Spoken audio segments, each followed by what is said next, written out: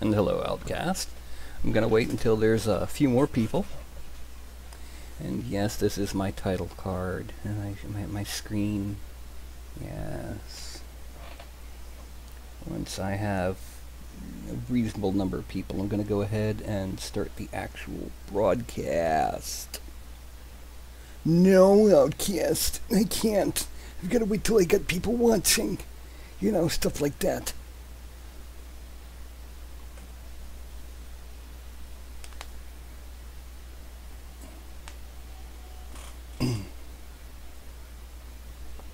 It will be in just a minute, Brandon. I'm waiting to get just a few more people, and for some reason, it's not showing me the number of people watching the feed.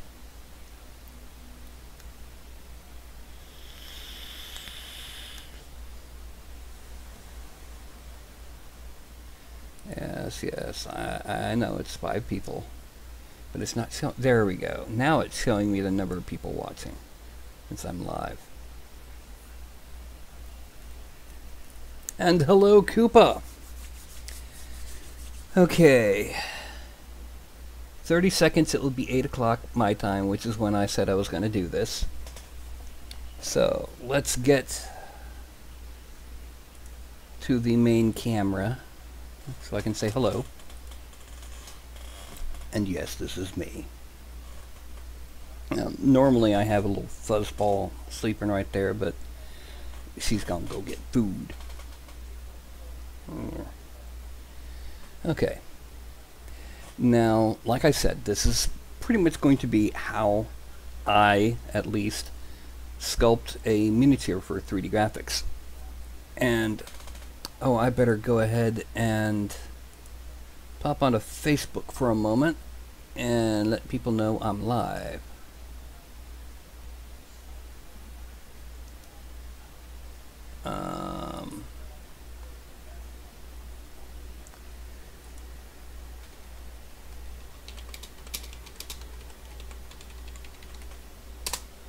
Yeah.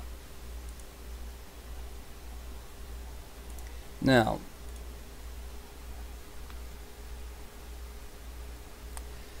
and, uh,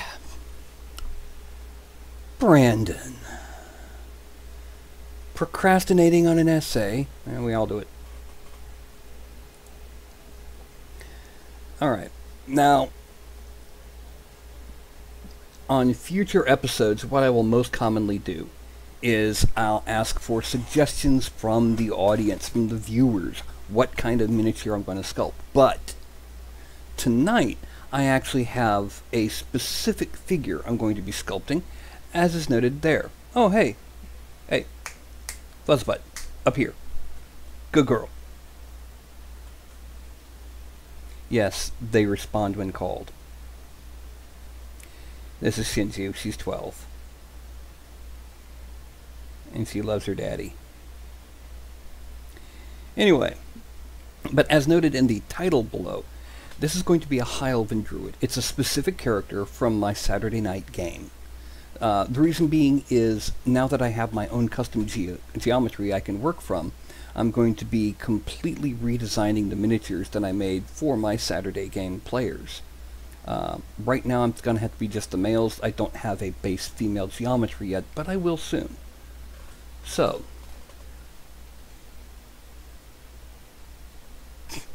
a writing cat. I, I think Shinji would have something to say about that. Anyway,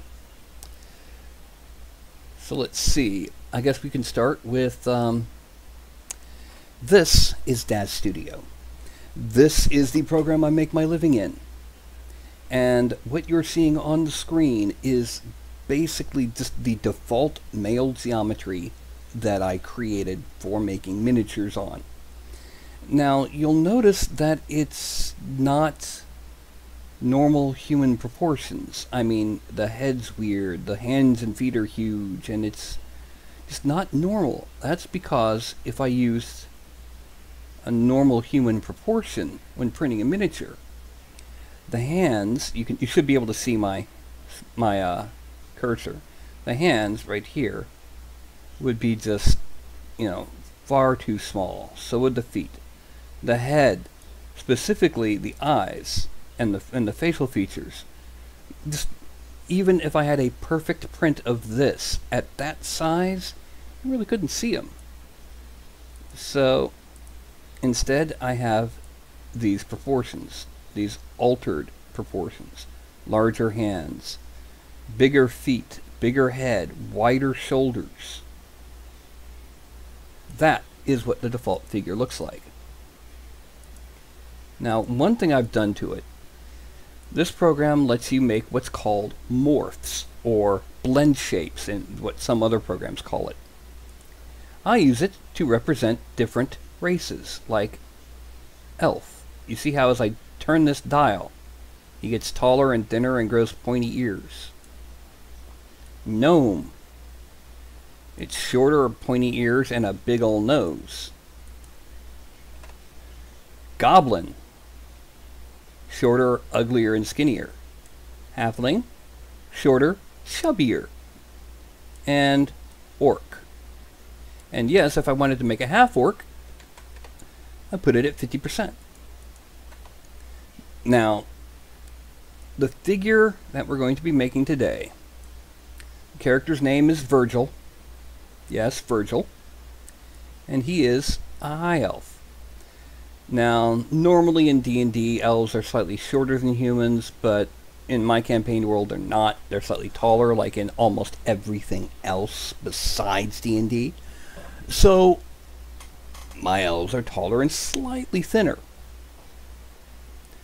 Now, you can see the basic shape of this elf. The ears are really thick because otherwise they won't print. Now, this particular critter, this character, is not like your standard druid. He doesn't use a scimitar or a sickle or a shillelagh. He's a high elf, so he uses a bow. Now, over here, down on the lower left, I have all sorts of props that I've made specifically for this character. So I load in the bow, and if you'll notice, the hand automatically closed around the bow. That's because when I made it, I saved that hand pose alongside the bow. Now, as he has a bow, he also really needs a quiver, and because he's going to be wearing a cloak, it's going to be a hip quiver, which also loads in in position on the back of the hip.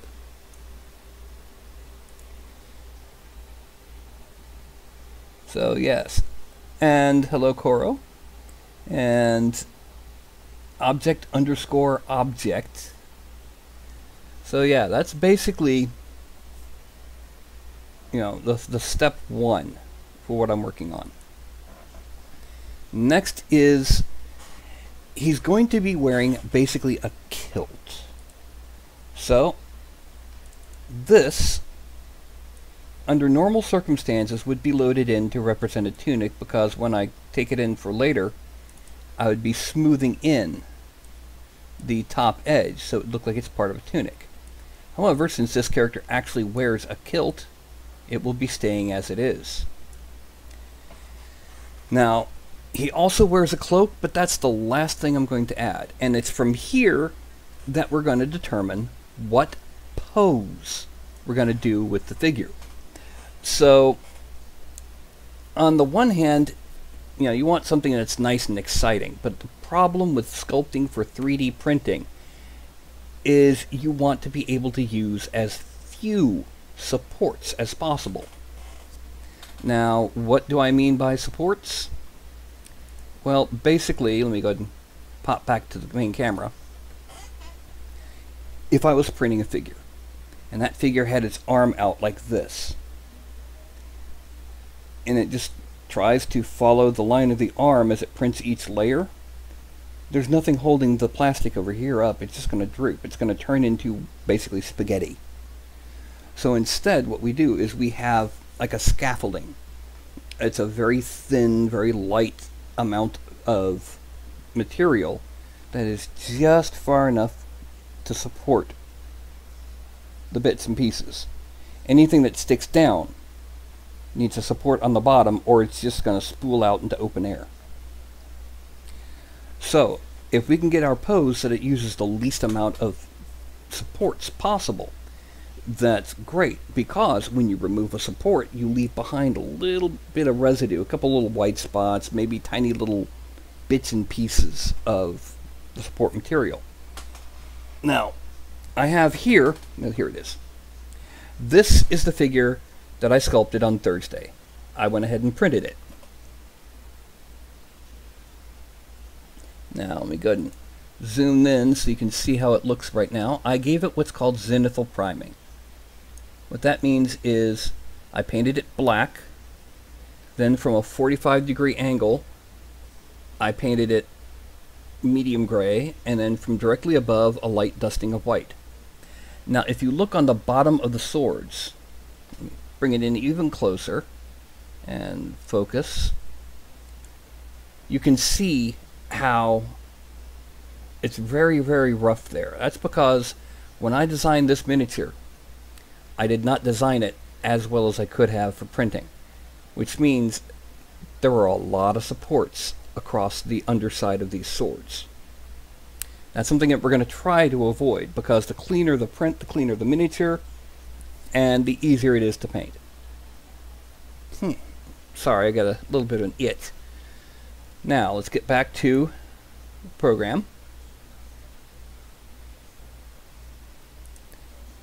All right.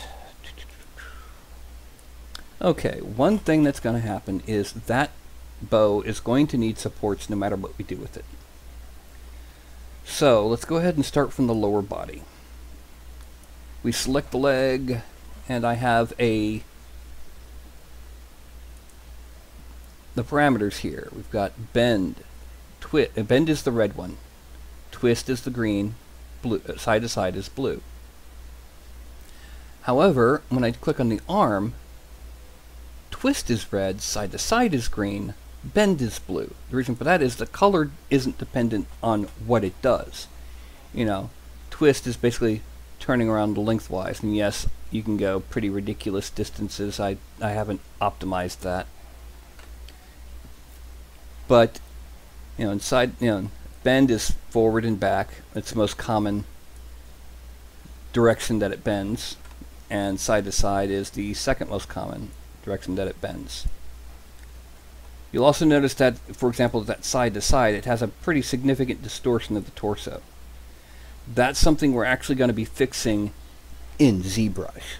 This is mostly just for the initial pose and the presence of the geometry that we're going to be playing around with. Now, the what it is, is there's X, which is vertical, no, sorry, x is the is side to side, y is vertical, and z is forward and back. So, if you imagine pins along those axes, x in the case of the leg, you're moving through the pin that's forward and back. When you move through the pin that's up and down, it twists. and when you move from the pin that's stuck in the front, it moves side to side. And it's a good idea if you're ever going to do something like this to make sure that you have your you know idea of what direction the pins go. So what we're going to do is we're going to just move the legs just a little bit side to side, not a lot, because he's going to be standing kind of proud.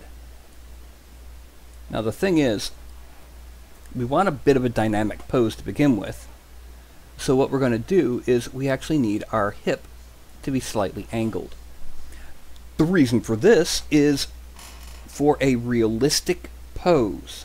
The hip, the line of the hip and the line of the shoulders, number one, should never be parallel to the ground. And number two, should never be parallel to each other. Unless you are you know, in an actual full military at attention stance, your torso is bent even slightly along all three axes. It might be twisted a little, bent forward and slightly to the side. Not huge amounts, but just a couple of degrees. Just enough to make it more natural, more organic. So we've got the hip selected. we're gonna twist it a little bit away. Well, sorry, that's translate. That's twist it just, just a couple degrees away from forward. Uh, we're gonna bend it forward a little bit. Oh, wrong way. Yeah, we're gonna bend it forward just a little bit. But we're not gonna worry about twisting the hip because you know that that will be determined when you turn the miniature. Now you notice that the feet are actually starting to go through the floor here. You can see the lines of the floor are going through the feet. And if I go to a front view and zoom in, you'll see that they are in fact going through. So, first things first, let's go ahead and flatten those feet out a little bit. So we're going to bend them up just a bit. And that probably needs to be a little bit more, so I'm going to manually enter it in. Minus 8. Minus 10. Yeah, minus 10 seems to be about right for that one. Whereas for this one, since you were not quite on center, it's bending forward a bit. You'll also notice that even flat, because we tilted him, his right foot's a little bit lower. So what we're going to do is we're going to bend the, the right leg ever so slightly. And then bend the... Not enough.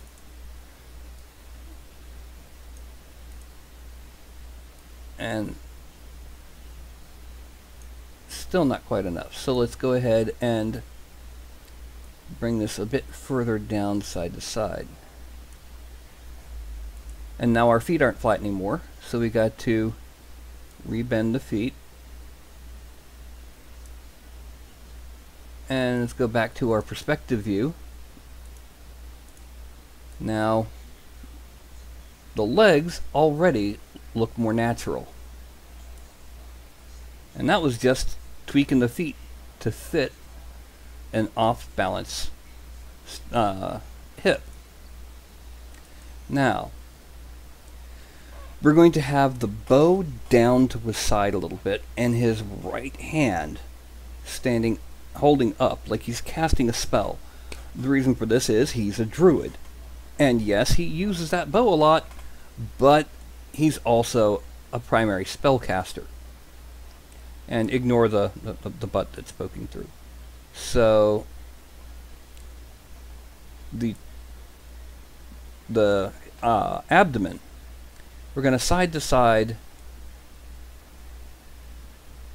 there. We're going to twist it just a little bit. And we're going to bend back just a little bit.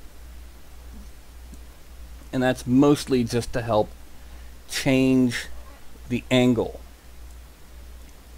bend the torso forward and slip it back the other side because he's going to be reaching up but we keep twisting in the same direction as the abdomen did.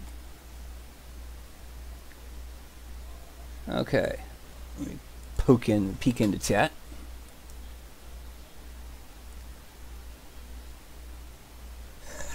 yes, everyone has a subtle tilt, Koro. Yes, it's a pokey butt, but it's something that will be fixed in when we get into ZBrush. For one, the butt's going to be covered by the uh, by the kilt. All right, now I'm going to go ahead and move the neck and head. The neck is going to be more straight up than it is currently.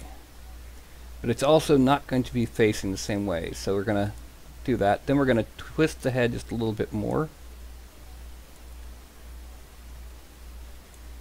Alright, we got to bend it backwards because we want it to be as straight up as possible because he's casting and he wants to look proud while he does it.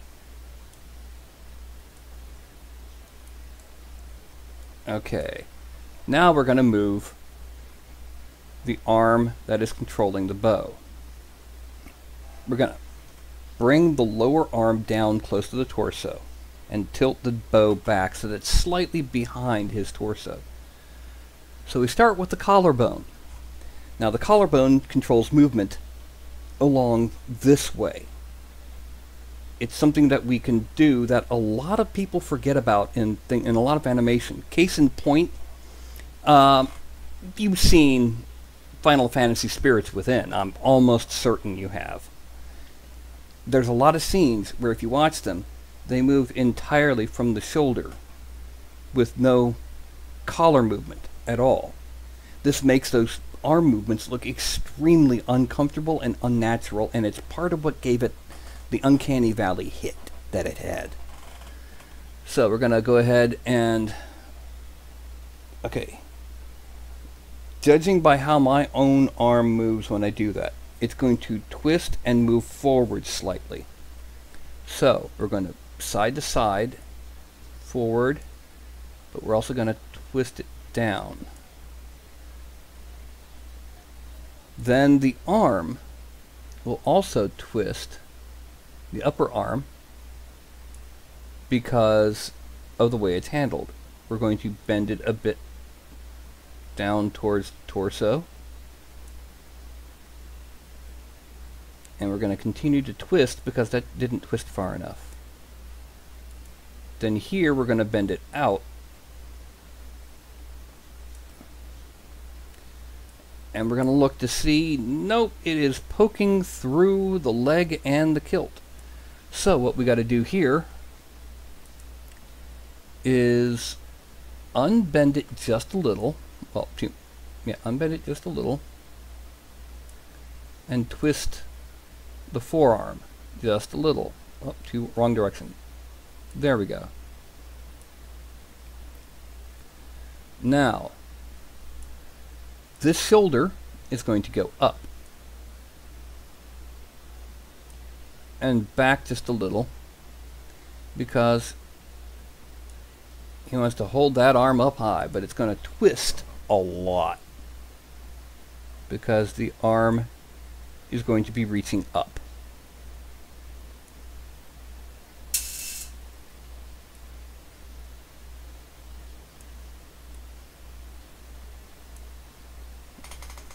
Now, let's go ahead and just to make things a little bit easier, dial in the arm movement. And then it's going to twist, like I said, to make the uh, a little bit better. Arm is going to bend. Actually, yeah, that's a bit too much. Let's bring it down a little. And then bend the arm just a bit. Now we're going to make the hand into a fist.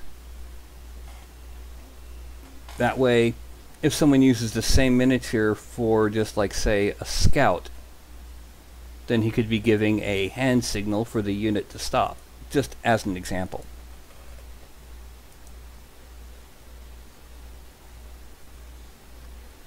Okay.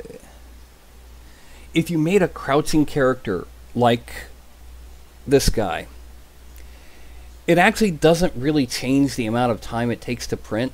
Not that I noticed, but it changes the amount of support material you have to use. Okay, a standing figure actually takes a lot less support.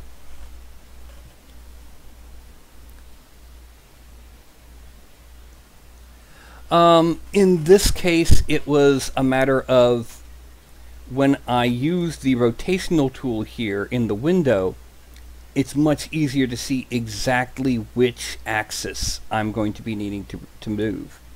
So for example here I need to slide the hand slightly to the side. I'm going to select the fingers. Now that's another thing. This model, the fingers are not independent. So I'm just going to select the lower fingers. We're actually going to start with the uh, tips of the fingers, and we're going to bend them. Then we're going to select the upper fingers. bend them. And I need to bend the lower fingers a bit more because, yeah, and then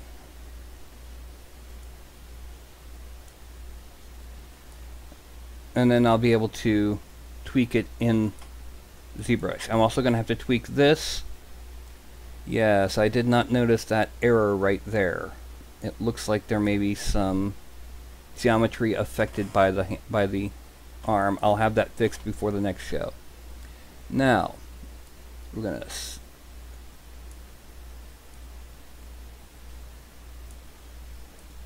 bring bring this up bend this.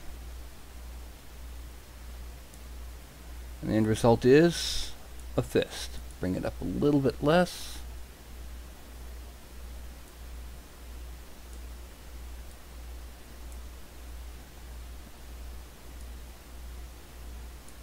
And there we go. We got a fist. So now we zoom back out and we have the basic pose. The torso is a little a little overdone. So let's just kind of, especially the side to side parts.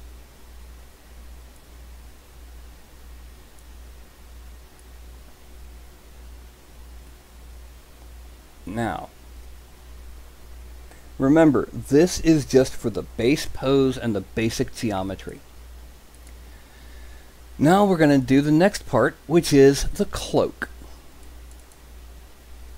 Load it in, and the cloak's in place. Now, I could leave it just as it is. However, we can also tweak it a little bit. You'll notice that I've made the cloak itself have multiple different body segments. So what we'll do is we'll twist this lower part of the cloak so that we can and bend it out a little. So we can make it look like this bow is actually, you know, pushing out the cloak a little. And that's a little too far. Let's bring it back in. Okay. And then we take the opposite side and we Y rotate it back towards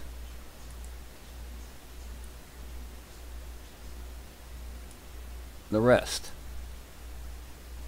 Now, again, this is just basic geometry. It is not how the final result will look. This is the basics for what we're going to be sculpting on.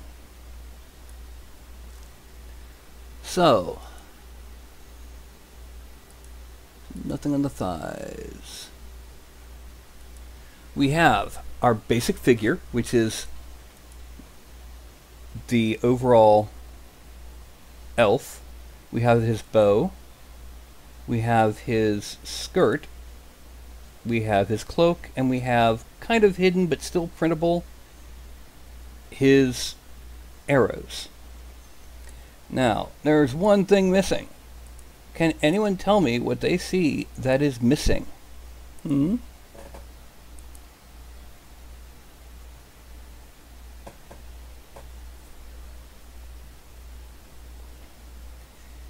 Yes, I use a 0.4 millimeter nozzle. But yeah, there's still one thing missing.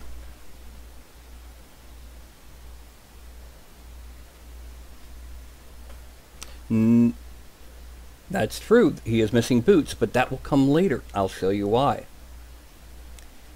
He's uh, much of what he is, much of his most of his clothing will actually come in the sculpting phase. The only reason that the kilt doesn't is because it has to have a solid piece underneath. Basically, if you look underneath, it's solid there. Makes it a lot easier to print.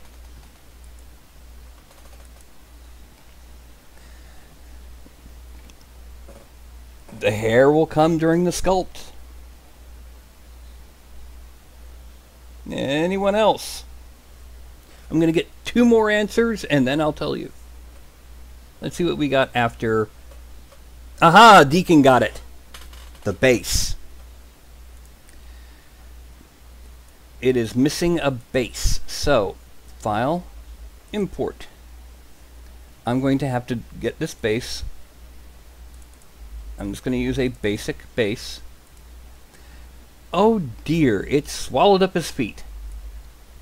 Well, that's okay, because all we have to do now is just lower it. It's what's called the Y translate. Move it along the Y axis. And we have, well, he's not standing in the right spot. Let's move it forward a bit. Too far forward. And there. That is what the final miniature will end up looking like. Well, after we sculpt it, of course. So, that was half an hour, and we have the figure in a basic pose on, a on its base and its basic equipment. Now what's going to happen, the next bit, is I'm going to hide all of his props and his clothing and the base because I'm going to export them as separate things. Now, File, Export, and we're going to put this under Broadcast Miniatures. And that's going to be High Elf Druid Body. I'm then going to hide him and open up his, or uh, show his bow, his quiver, and his. No, let's make the let's make the uh, tunic skirt separate, and his base. This is going to be the next bit. File, export, high elf druid extras 1. Okay. And now we hide these guys and have the tunic and cloak visible. File, export, high elf druid extras to oh wait no I better before I do that the cloak and the tunic bit better be separate the reason being is we're going to be working on the tunic bit to make his belt. And we need to be able to get behind it. So, high, elf, druid,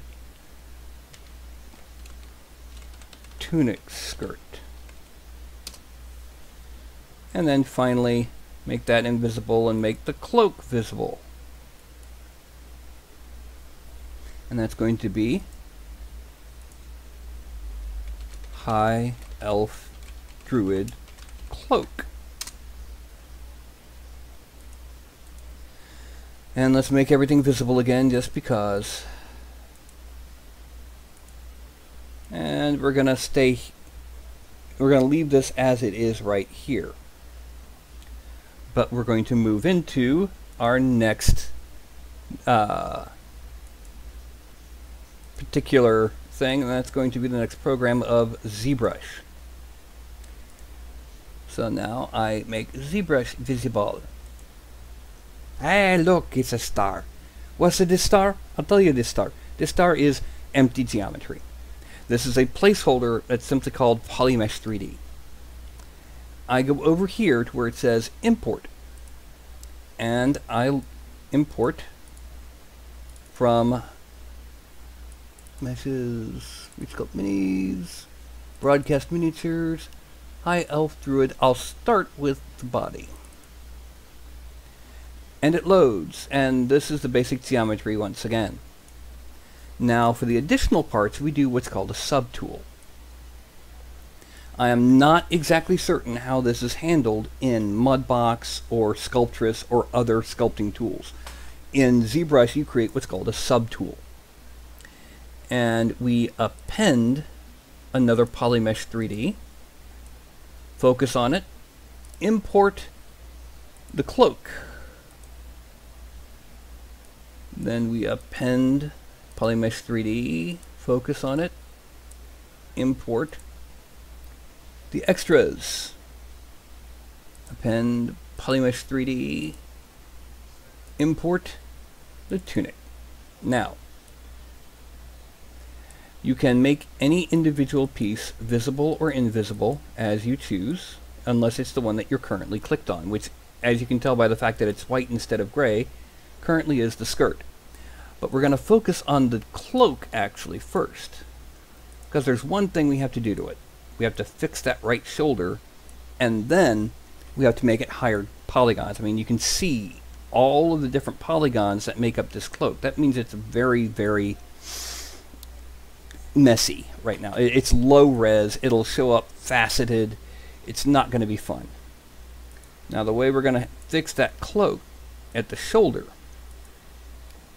the first thing we're going to do is I'm going to smooth it out. You'll notice that all of a sudden, instead of being red like it is now, the cursor is blue. That's because it's set to smoothing. And as I stroke over the cloak, it gets smoother. Now I also want to smooth the top of this, but for a totally different reason. And that's that, you know, if you look at it when the character is visible, that part's kind of sticking up a bit, and we don't necessarily want it to.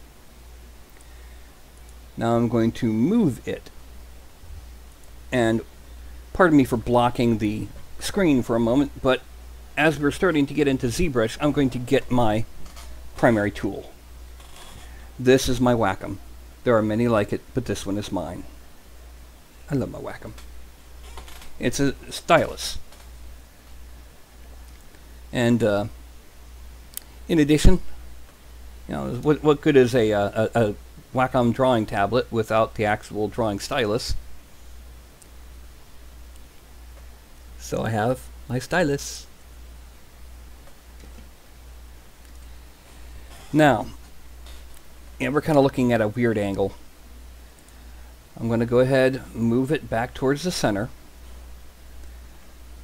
Rotate it around a little bit until I can get a good view of it. And I'm going to pull this away from the back of the shoulder to make the brush a little bit bigger, I'm hitting the closed brackets, the square brackets. Bringing it up a little bit. And bring this down just a little bit. Now, I'm going to start dragging it around his neck. Because this is not a superhero costume. This is a woodsman's cloak that he wears to keep warm. So instead of having, you know, just tucked into the back of his super suit, it is most likely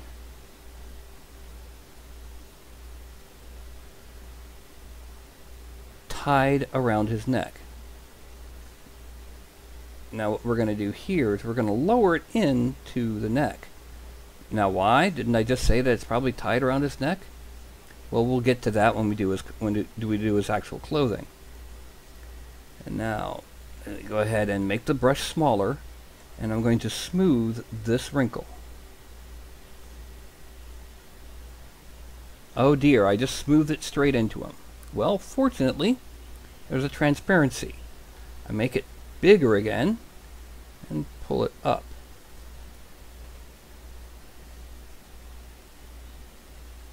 Now, zoom out and move it more towards the center. And let's make it smooth, but a lot, a lot more gently, so we can smooth out some of the wrinkles and weirdisms that we're getting. Now, you'll notice that for a cloak, that's pretty thick. Most cloaks aren't, you know, a hand's width thick. That's because, well, it's got to be thick to print well. A Blender does have a sculpt mode. I don't know how powerful it is, and I don't know what you can really do with it. So I'm pretty much sticking with ZBrush for my sculpting. Now, the next thing that we need to do is we need to make it higher resolution because again you can still see all of those polygons. So we go over here and instead of subtool we open up geometry. You can divide a couple times. That's yeah, got up to 90,000 polygons and now it's really really really high res. So the next thing we're going to do is we're going to add in wrinkles. Now, that's pretty easy to do. The problem is where. Not so much how, but where. Because if I just start drawing in lines, it won't look like it's a wrinkled cloak hanging from his shoulder. It'll just look like a bunch of weird lines. So I undo those. We also need to make the brush smaller as you just saw. Now, it's actually better instead of doing it with a nice broad brush to do it with an angled brush, a sharp brush, the slash brush. Again, not like that. We need it not as deep and a little bit wider. And the end result will be that we can draw in our wrinkles. Let's untransparent it. Let's make it opaque again. And once we've gotten the location of the depth of the wrinkles in, we can then draw in a few other things. The peaks of the wrinkles, for example. Now the thing is, in this used like this, the smooth actually becomes almost an eraser. It relaxes the polygons around it. Now I'm going to zoom in close to the back of the neck. And what I'm going to do here, I'm going to make it smaller and I'm going to draw in the wrinkles from being around the neck. and I'm going to smooth out the areas here. Now I need to make it a little bit bigger because those wrinkles will not be able to be seen on a printed miniature unless you got like, you know, the God printer. Let's make them a little bit deeper.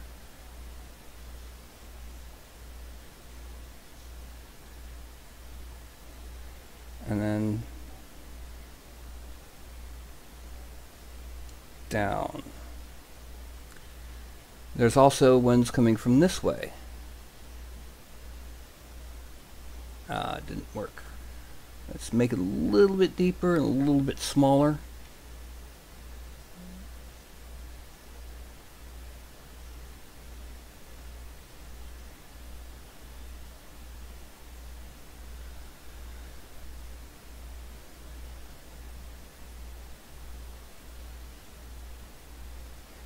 Now what we'll do is we'll make it Z add, zoom out a little bit, make it bigger, and we're going to sharpen the tops of the wrinkles. The reason for this is you may think, oh yeah, cloth's like super flexible. It is, but it bends along the lines of the thread, along the warp and weft as they're called.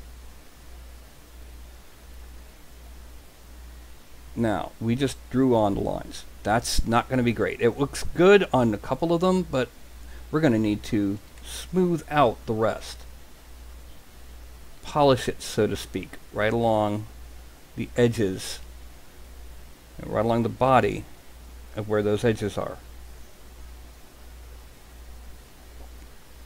Let's shrink the brush again and polish it a bit. And for the most part, the cloak is ready. Ready for what you say? Well, I did something today specifically for this cloak that I think that the person who I'm making this miniature for would appreciate. You see what I'm doing? I'm going to show how to add a pattern to something. I am about to start masking off this cloak. Okay.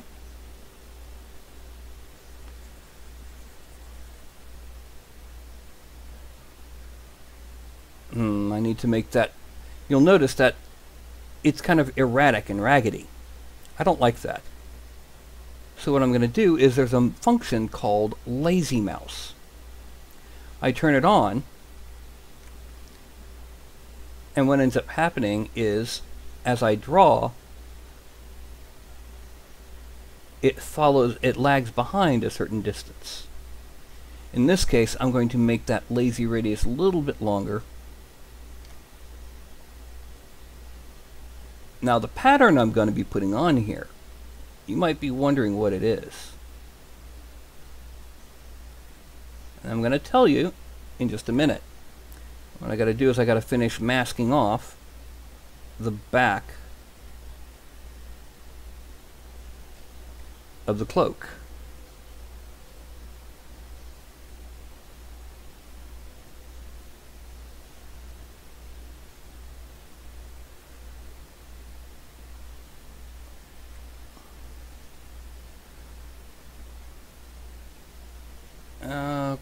Okay. See, what I'm going to do is, he, this character's a druid, you know, a nature priest. And yet they're being found underground, rampaging through tombs and cave systems.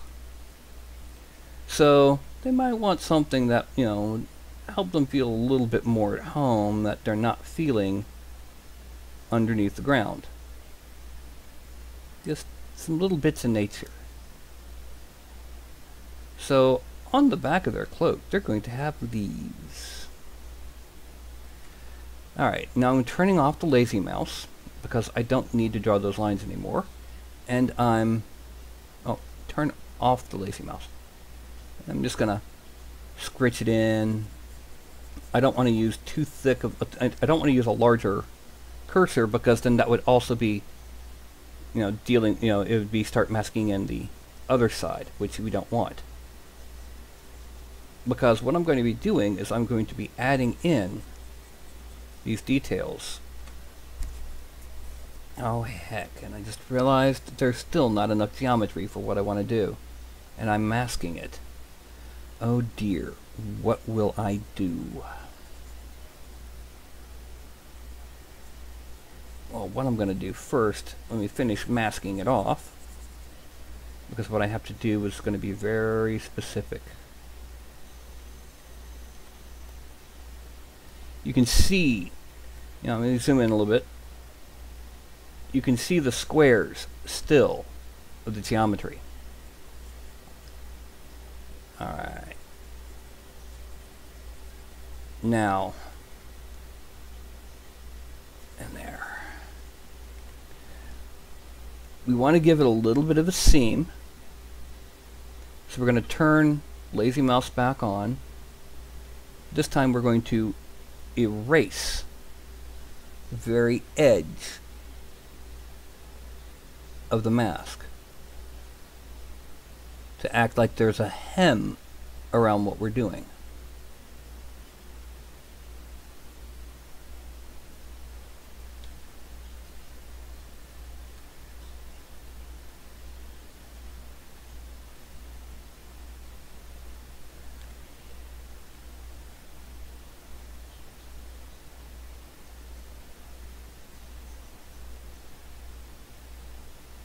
you know, like they actually know what they're doing with cloth, which I, you know, it means they're they're doing better than I am.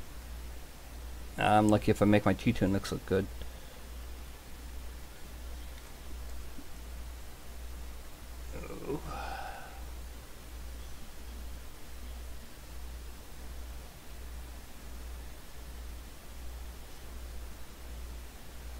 And I need to go back up a little because I started bouncing off the edge for a little bit there. Okay, now let's turn off the lazy mouse because I've just noticed I got to zoom in a little bit and undo this. Well, let's shrink the cross size because we don't want to go through the other side.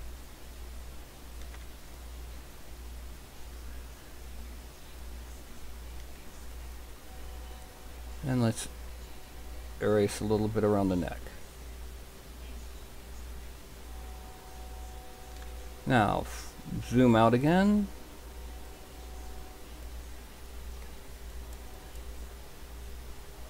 And there we have it. It's masked off for what's going to be what's going to be. So what we do now is we get on to masking. And do we have an option to save the mask? No, we do not. So what we're going to do is we're going to have to first, we're going to invert the mask. So now the only thing we can adjust is what's currently in there. And then go back to the geometry. We're going to divide. We zoom in.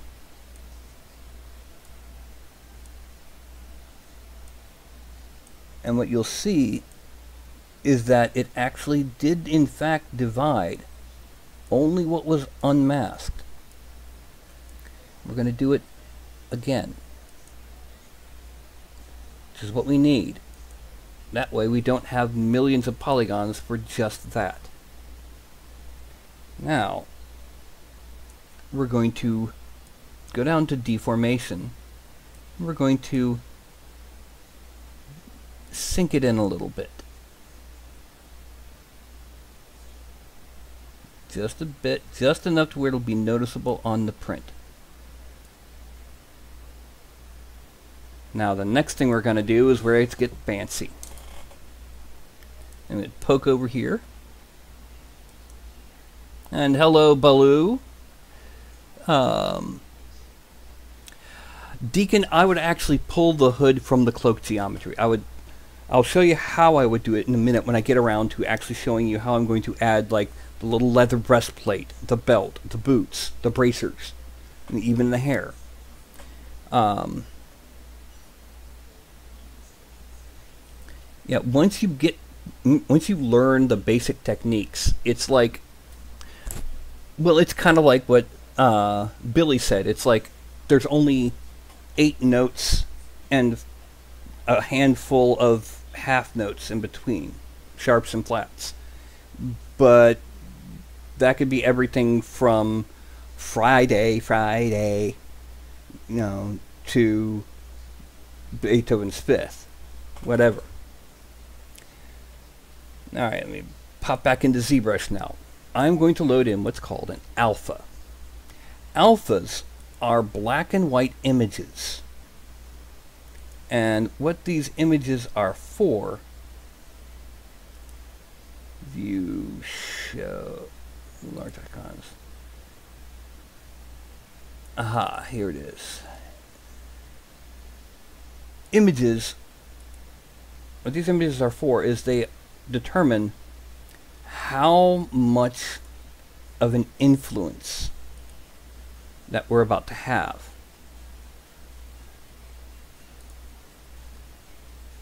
Oops. Gotta be on standard for this. And let's to zero and drag rect. And we're going to Z sub. Let's make it big, deep. Now, I place this mouse here and I start dragging, oh, you see that it now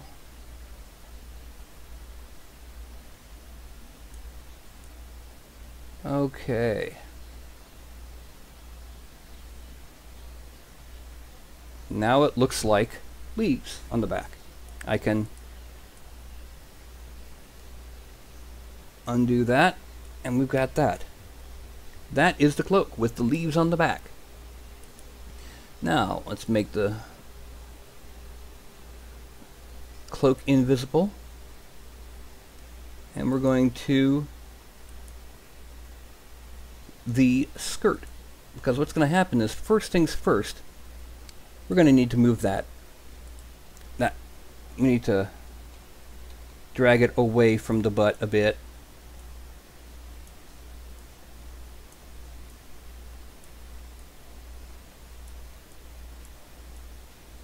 And so it's no longer on the butt. Now the thing is, it's from this that we're going to be getting our belt. So it needs to have its geometry increased quite a bit. Every time I click this button over here, where it says divide, the number of polygons is multiplied by 4.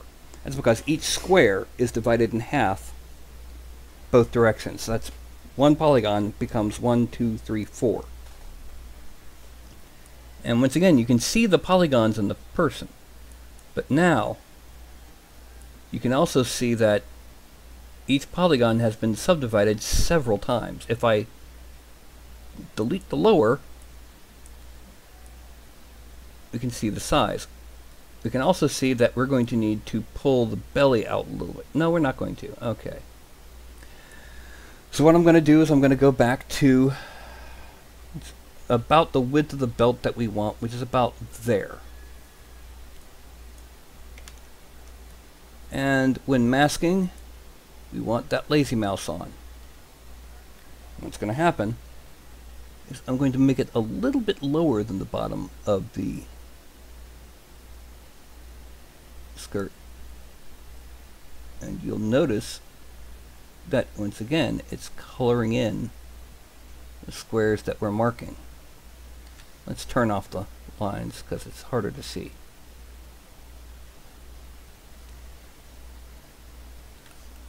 Oh, good thing I'm still on move. I missed a spot. Oh. Make it big so that the bigger it is, the, the, the better the blend. Okay. And that's, yeah, that's about right.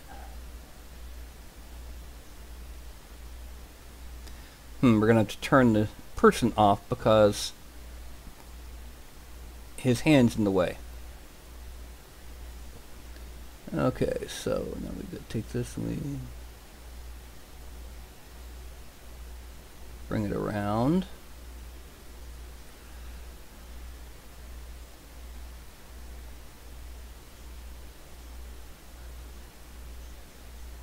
And finally bring it across and make the connection here. Now, we have where the belt would be marked off. So how do we turn that into a belt? Well, there's an option in the subtool menu called Extract. And it just so happens that the scale we're working with, the default settings are perfect for creating something that will be a visible ridge, a visible change in layer height when 3D printed. And this is it. Now, we need to go ahead and accept.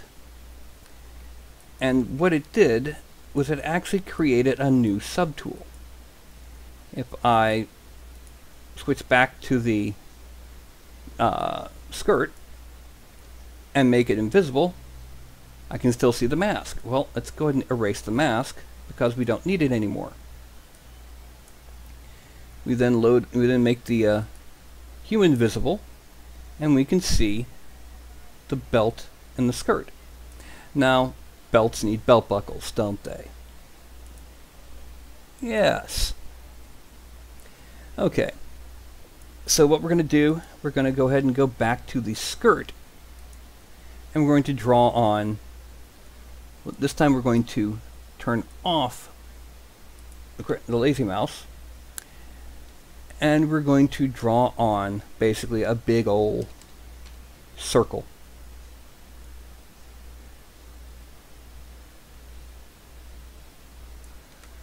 And now that we've done that, we can turn the belt on so we can see it.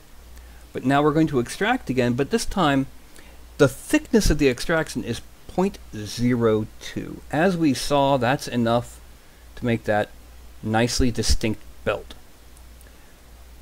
But if we do it again, it's going to blend with the belt. So we're going to make it 0.04. Extract, and we have our belt buckle.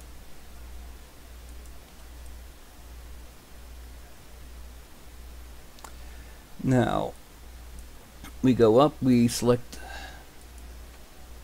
and what we have now is we have all of the clothing that we need for the uh, skirt.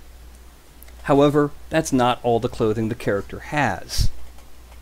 The character also has boots with open toes, a leather breastplate that mostly covers his rib cage area, bracers, and a single shoulder pauldron. The concept art offered to me by the person who's, who's playing this character had the single pauldron on the right shoulder.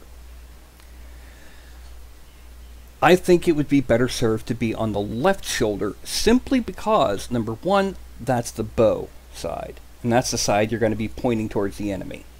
Number two, his right arm's up. If I put a pauldron right here, it starts getting a little persnickety.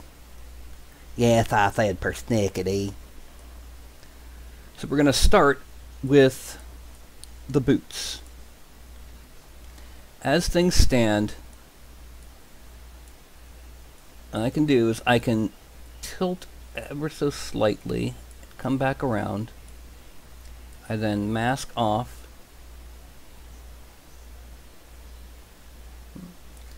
I didn't do it enough. I'm trying to tilt so that the leg is perfectly upright when looked looked at from the front. Like that. Oh, that's right. Before I do that, I need to increase its geometry quite a lot. So divide, divide, divide, and delete the lower.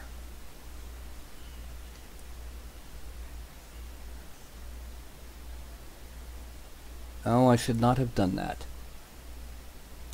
Undo. The reason being, I should not have deleted it. Okay, there we go.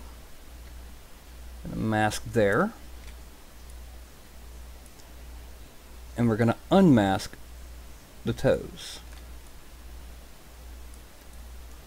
Now, we're going to need to pull it back down. There we go. And let's bring this up to about the same height. And then once again, unmask the toes. And that's where his boots are going to be. We go back down to extract. And this time we can go back to 0.02, extract, accept, now, at this scale, from our point of view, that kind of looks like he's wearing, you know, ca- uh, ca- you know, casts. But when we actually print it, it's going to be a very, very small shift in layer. Okay, that's that. Next thing is going to be the bracers. I'm going to make the bracers actually different styles. The reason for this is, well, because asymmetry helps. We already have asymmetry. Oh, yeah. Sorry, I'm getting out of order here. What I need to do first is I need to tweak the geometry of the torso, since most of it's going to be exposed, and since when you bend those arms in Daz Studio, it's leaving some weird divots. So what I'm going to do, I'm going to sculpt. Now, it's a druid, not a warrior. He doesn't need to be super muscular. But he still needs those landmarks defined. So, we're going to drop this down. And we're going to expand on his biceps a little bit. Now, as you see, it already looks more like a bicep. The bicep uh, connects underneath. Stop that. Yeah. Bicep connects underneath. Oh, that's too big. The where the pectoral and the uh, shoulder muscle, the deltoid, connect.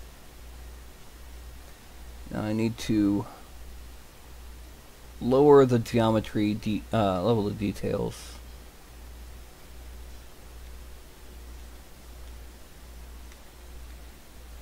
As I do this because it's a lot easier to smooth and then subdivide than to try to do it all in the, in the heavy subdivisions.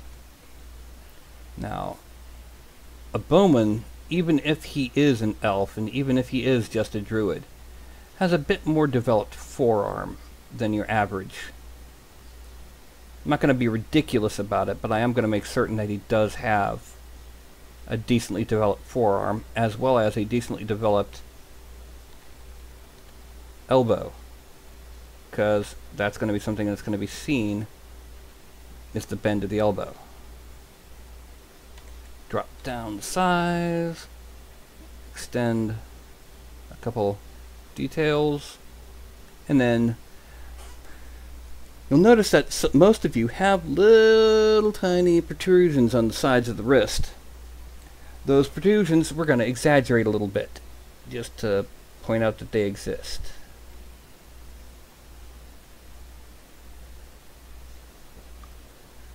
And we're also going to increase the deltoid just a little.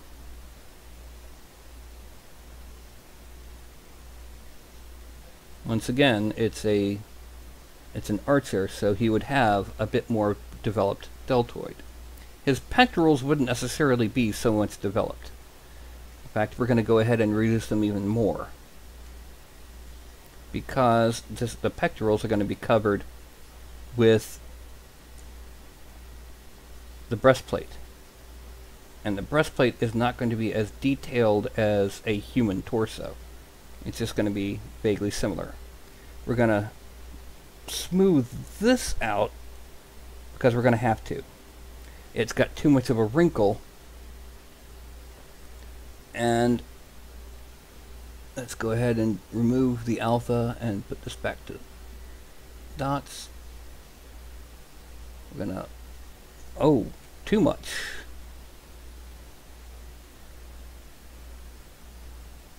Dig in here a little bit. And then we're gonna dig out here.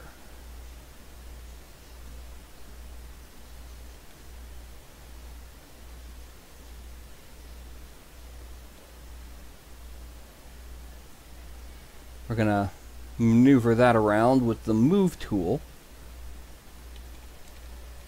and kind of pull it back a bit. Now the thing is, this back muscle here didn't bend properly when we created the pose. So we're paying for it now. the other thing is, the back, no human shoulder blade bends like that. So we're going to go ahead and we're going to use the move and the smooth to make it a little bit easy, a little bit better. Now, I would go in and add more detail onto the scapula, the the shoulder the uh, shoulder blades, but we don't want to do that because it's going to be covered in the breastplate. Zoom in, shrink, and we're going to smooth this out.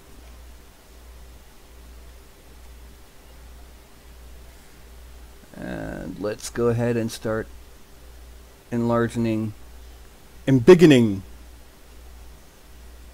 the bicep. Yes, I said embiggening. beginning. It's a perfectly cromulent word. I don't know what you're talking about.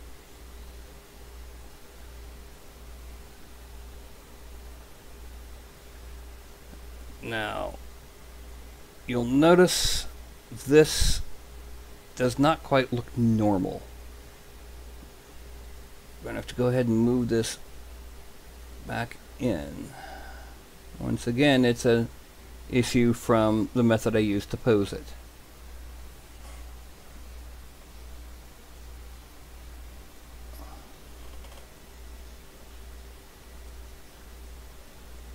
Well, looks like the only major thing I have left to do for the general physicality of it is I need to move this up just a little.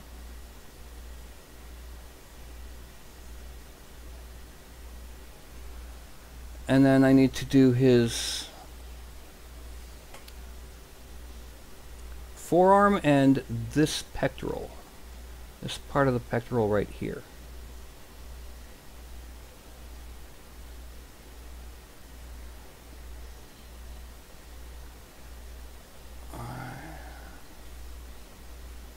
Now what we're going to do, we're also going to change the shape of that pectoral because it doesn't look right. That pectoral should be almost a straight vertical there.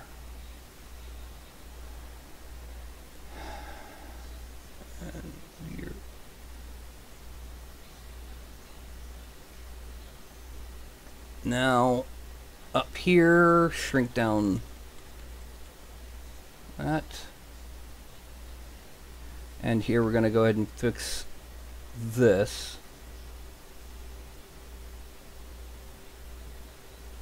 Remember I mentioned we're going to fix that in ZBrush. And standard, let's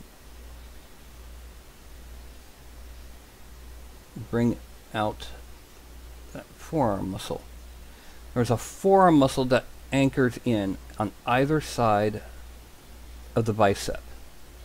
If you try and make a make a fist, you'll notice there's like a little divot from where the bicep attaches because there's one coming from here that connects back over here and one coming from here that broadly stretches across.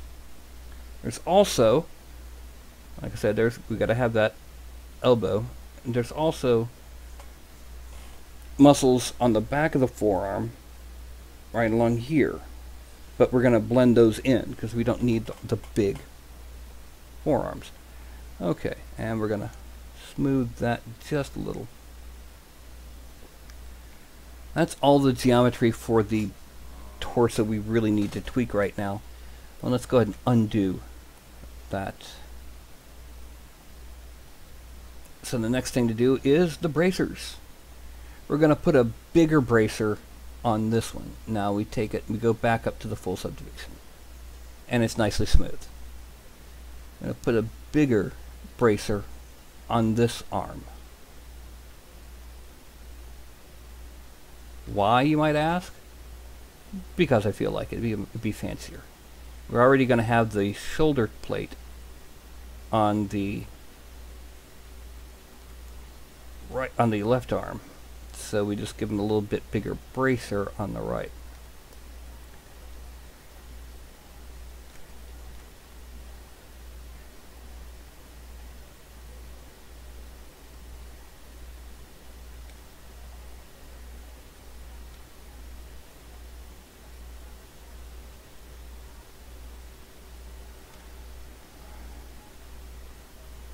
Okay, now we're going to go move over to this arm.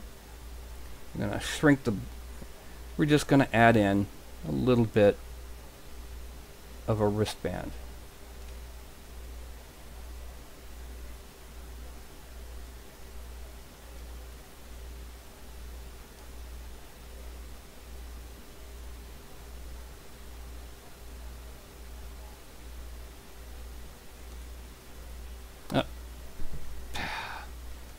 Stupid autosave. It's good, but it can be a pain. Okay, now zoom out. And once again, we're going to extract. We go back up to subtool. And we hit extract. Yay! Accept it? Yes. So now we have those bracers. But they're kind of boring. So what we're going to do is we're going to go ahead, on this one at least, and we're going to add on some trim. How did I learn Daz Studio? Um, wow. Uh, I've been using it for work for about 15 years. Yeah, that, that's that's what I work in is Daz Studio.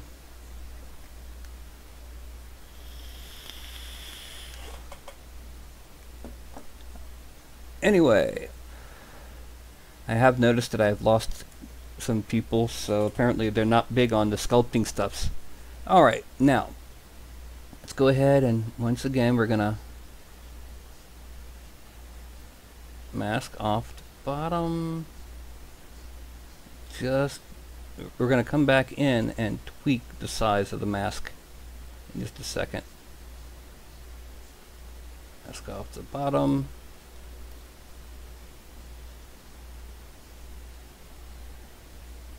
and then we're going to mask off the top. Uh, not enough. Yeah, mask off the top.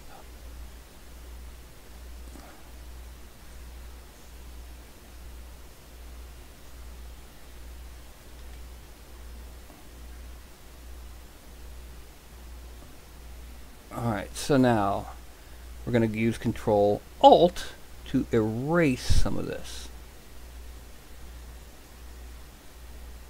try and even out the size of the trim.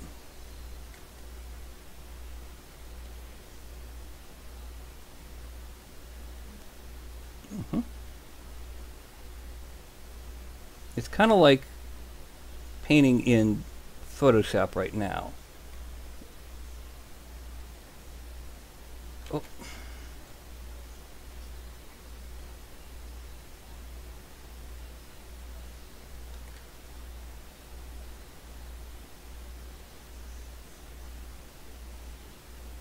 Okay.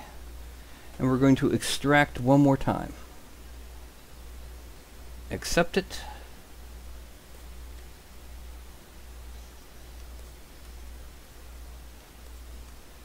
Now, what we're also going to do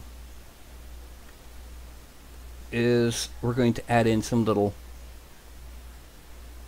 bulgy dots. So, make it a little bit bigger. and two, three. One, two, three. One, two, three. One, two, three. And one, two, three.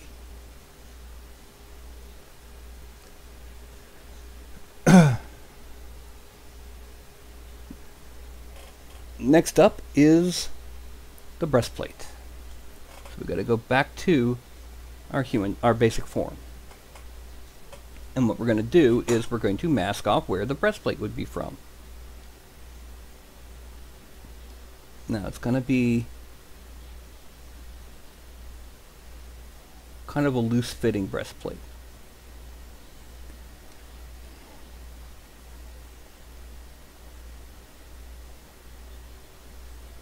and relatively short.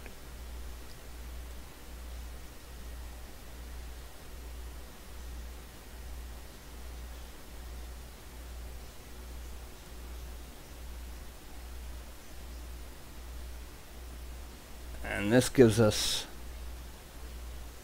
know, remember this is going to be a leather breastplate. We want something kind of smoother than you, you'd get from a metal breastplate.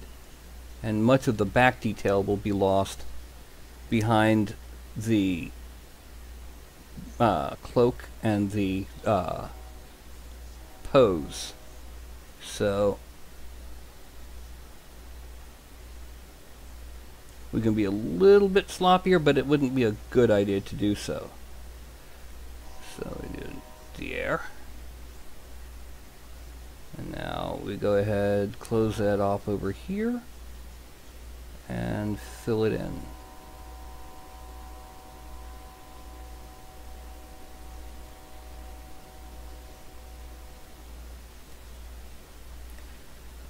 And we're going to clean up just a little bit.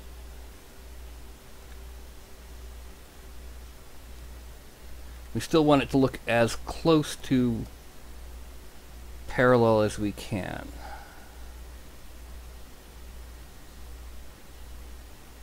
Hey, come on, girl. Come on up. Good girl. Yeah. So now we turn it around, straighten them up, and we see that we've got a little bit of cleanup here left to do. Now, and we extract. And that came out good, so we accept. Clear off. And now the next thing to do is to clean up the breastplate, make it look more natural.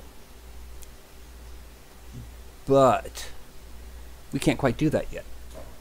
Because, see when I mentioned I extracted it? What we gotta do, if you look, it's only one polygon thick at the edges, right around in here. We got to change that. Well, one of the tools in ZBrush is called Dynamesh. And we're going to use it. What it does, it remeshes the entire thing that it was just on. Now what this does is number one, it'll help us make it easier because we've just reduced the poly count to smooth up the breast, the, air, the chest part to make it look more like it's a loose fitting piece rather than his chest sticking out. And smooth out the bottom here.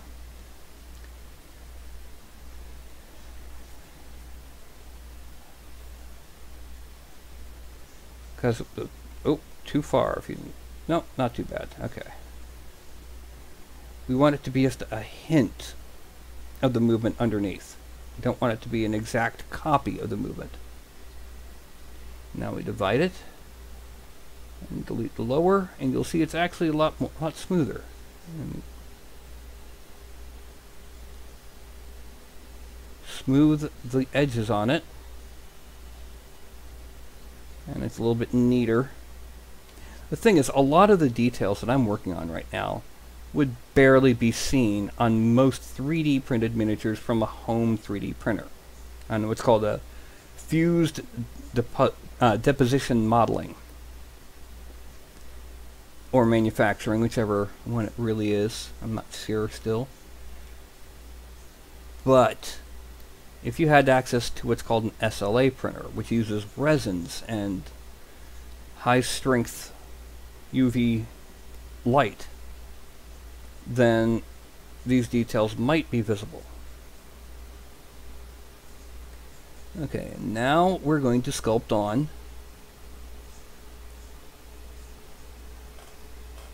the shoulder plate. Once again, it's going to be kind of small,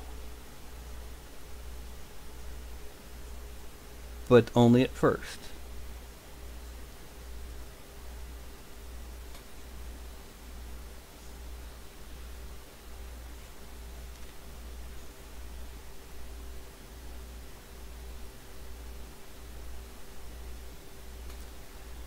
Okay.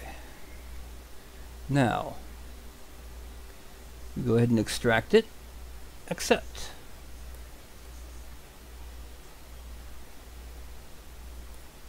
Okay. Now what we need to do, this one needs to be distinct. So we're going to take the move tool, make it bigger, and we're going to drag out the bottom of it just a little. Not a huge amount, just a little. And it's entirely possible for us to sculpt something on here, but it's we've been going for about an hour and a half, so I think it's probably best to go ahead and just do what we did before with oh, with this dynameshing and subdividing the shoulder plate. Now, let's look what we got if we go to the subtools. Let's turn everything on.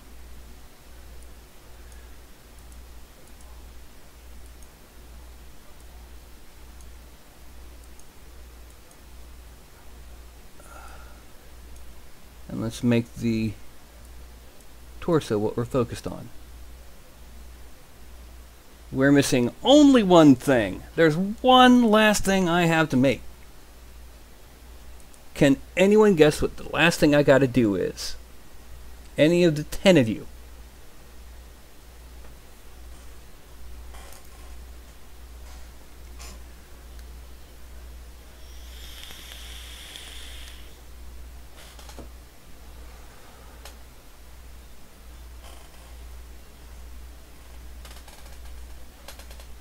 No, the belt's done. The hair, right, Deacon? Now, the thing is, the example hair that the person who's playing this character gave me is moderately a modern style, and not very elven, but hey, it's what they want. And it's still, you know, as long as we make it kind of messy, we're cool. So what I'm going to do is I'm going to do the same thing for the hair that we've been doing for everything else. I'm going to pull it off the head, off the base mesh. So first, draw on the basic shape of where it's coming from.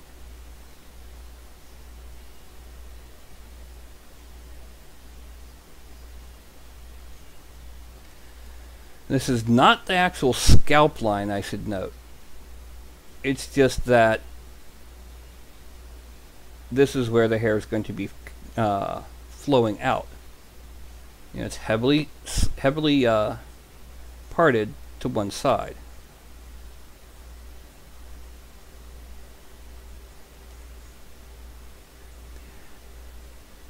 And Alex, if you are in here, can you let me know?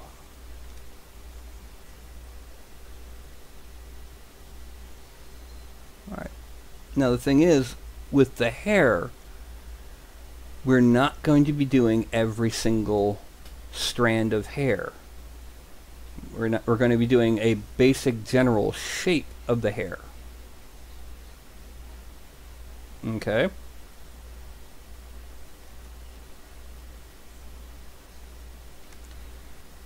Now,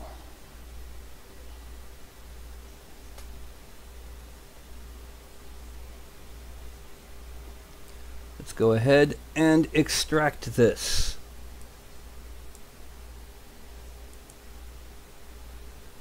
Accept it.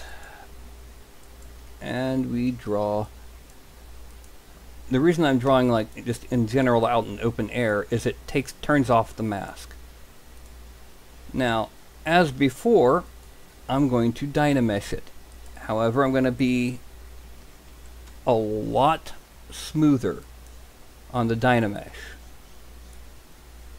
what we're going to do is we're going to smooth out the edges of the hair because hair does not stand out like a layer.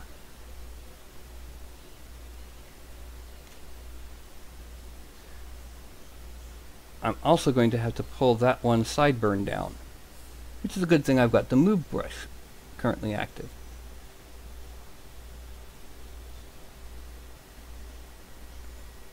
Blend around.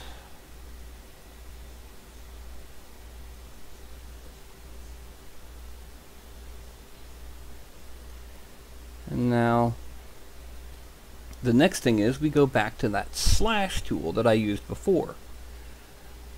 but we're going to go a little bit smaller and we're going to draw in between where we figure that the forgot divide a couple uh, divide it once. We're going to go in between where we think that the individual strands would be.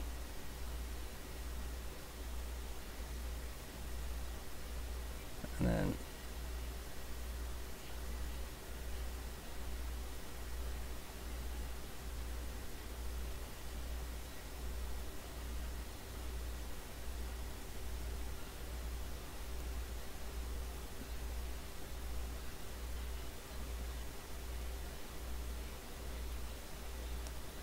This is very similar to the hairstyle I did last week. It's kind of just mirrored. Last week, I mean Thursday, so it'd be this. It's technically last week, but it's may as well be this week. And one last. Well, too much. I'm gonna divide it again, so I can come down here. Now, we're going to smooth out this one.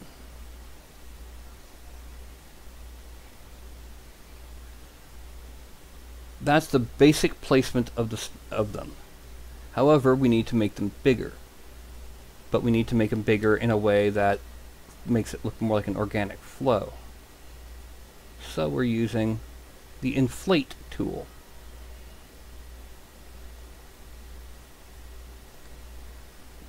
And what this will do is this will round out these strands of hair, these locks, so to speak. It will also make them larger and easier to paint when it, we print out the figure and the person who gets it goes to paint it. And let's divide it again because this is showing some problems. Yeah. Let's smooth out that. And now we're going to swap back to the slash, but we're going to make it add. And we're going to... Oh, too much. We're going to kind of peak the individual hair strands. Once again, this way when the person whose miniature it will be goes to paint it, those peaks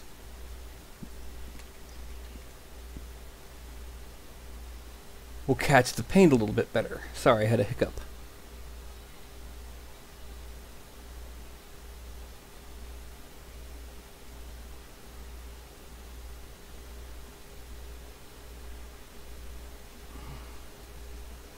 And let's go ahead and try and reorient it back front.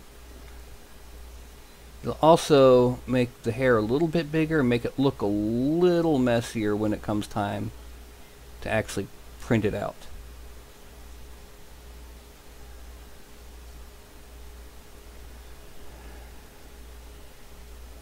Now, let's zoom out all the way.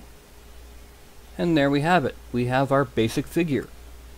However, well, I put my tablet up. That is only the second stage. First stage was the basic geometry, and you'll notice it looks a lot better one thing I've got to do, I just realized, it's a problem in my mesh. I've got to close the mouth and make the lower lip a little bit bigger. So what I'm going to do, I'm going to go back to inflate, reduce the intensity a little, and I'm going to inflate the lower lip so that it ends up closing the mouth.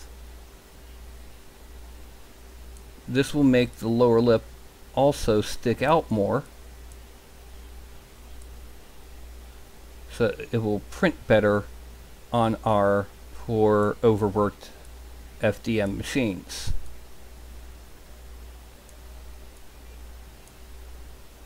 Frame.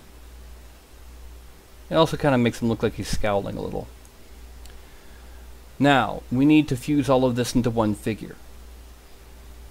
So what we do is merge down. Always okay. And then we just start merging down. You notice as I do, a different part of the figure keeps turning white every time I push this button. As it all becomes one solid piece. And we have our druid with his leaf cape, his bow, everything else. Now, the problem with using this in a 3D printer is that a lot of slicers won't like the fact that most of the geometry is not actually physically one single solid watertight surface. Yes, there's a, that's a problem.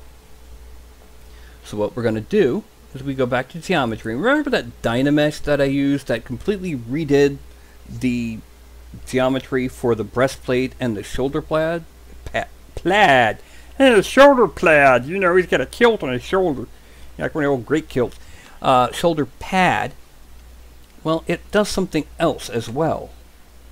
What it does is it fuses all of the geometry of the mesh into one single manifold surface.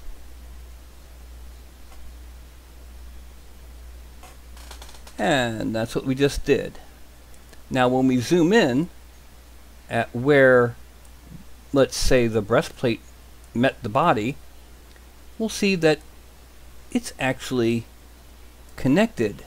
We turn on the lines, you can see it may change color, but the lines are actually connected by a series of polygons. So now we have our model, and oh lord, it is 2.273 million polygons. Now most slicers won't like that. They won't like it at all. So we got to reduce the polygon count. Now how are we going to do that? Well, it turns out there's a handy dandy fancy little tool called Decimation Master. I just opened it up right here. And we want it to be about 35,000 points and about 70,000 polygons. That will leave us enough detail and smoothing that it will look really nice even if printed on a resin printer, but low enough resolution that it can be easily sliced by the programs for slice for FDM. So, I push that button, it analyzes the mesh, then it will go in and it will begin to process. You'll see the orange line across the top of the window. As that orange line processes, it will be doing it.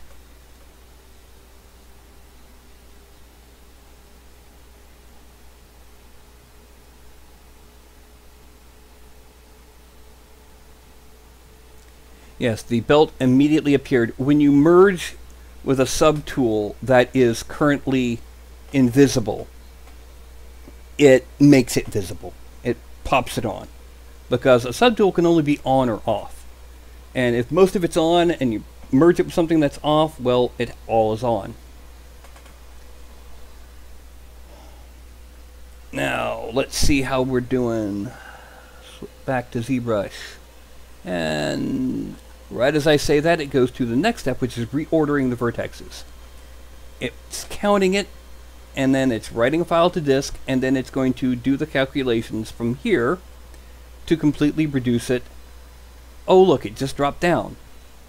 It is 34,972 points, 74,000 polygons. We zoom in, we can see there's a lot more erratic status of the polygons. But when we zoom out to even a level that is, you know, assuming that you have a standard size monitor, many times the size of what the final miniature will look like, you can't see the polygons. And this, my friends, is the finished product of the sculpt. I now go ahead and come back up here and I export and it goes into broadcast miniatures and I'm going to call it High Elf Druid finished. So, in just under an or just over an hour and a half, I created this from just some basic default geometry I already had prepared. Our High Elf Druid with a uh, leather breastplate and shoulder pad, bracers, belt, open-toed boots, bow, fancy leaf uh, cape. ain't that fancy. Now, I could do something similar with mail, with chainmail.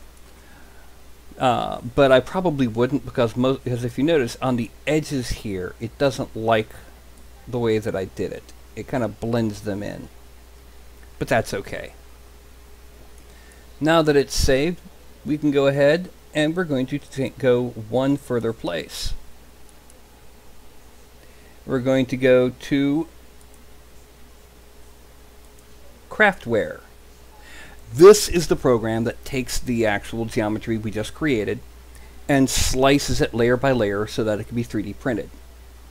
Now, I prefer this particular program. There's dozens of them out. There. Well, not dozens. There's, there's a, at least you know half a dozen to a dozen a couple of them are for pay, Craftware is for free, but it's the one I prefer.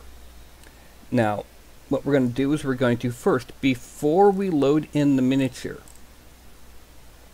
I'm going to load in what I call uh, the base measure. This is the cooling tower.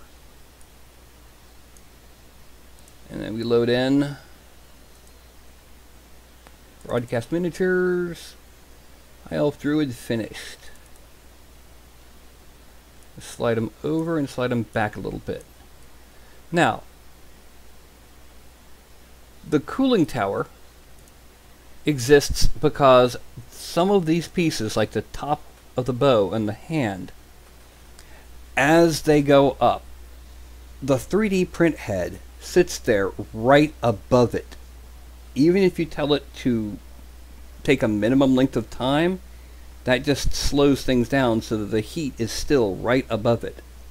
By having that cooling tower about an inch or so away, the heat is moved away, giving that layer time to cool before it comes back for the next layer. Now for it to work right, it needs to be just a little bit taller than the actual figure. The actual figure, we go to scale, 44.78 millimeters. So we need this to be at least 45 or 46 millimeters. Let's make it 46 millimeters. And it just suddenly grew. Now, I am going to rotate this to face that way. That's because on my printer, that's the direction the cooling fan is coming from. Which means it tends to get a little bit, of, occasionally we'll have some hairs. What that is, is as the nozzle moves, the fan blowing on it causes some of the plastic to very faintly wisp out. So we want the face, the, we want the front of the miniature to be as clean as possible. And there we have him. So next thing we do is we decide where to place the supports. And this is where Craftware earns its keep. I can do it automatically or I can manually place them. And with miniatures, you want as minimum of uh, support as you can, so I'm going to manually place them. I'm going to start off with the bottom of the cape right there. You see where the blue is. Everywhere that is blue is area that has,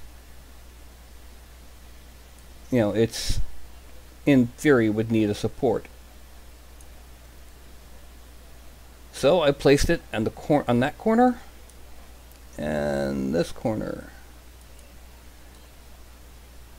Almost everything else is going to be using a slanted support because I can do it in Craftware.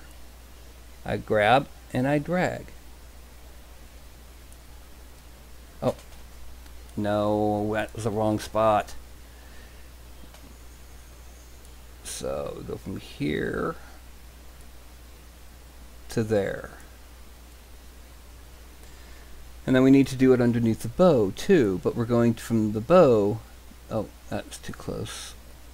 Going from the bow to the base. The reason being is we want it to touch as little of the rest of the figure as possible. So we're dragging it kind of diagonally. And then finally the bottom part of the bow is going over here. And then we need some for underneath the thighs. We're going to bring it forward a little bit just to make it easier to remove when the time comes. And then the bottom edge of the tunic will go to here.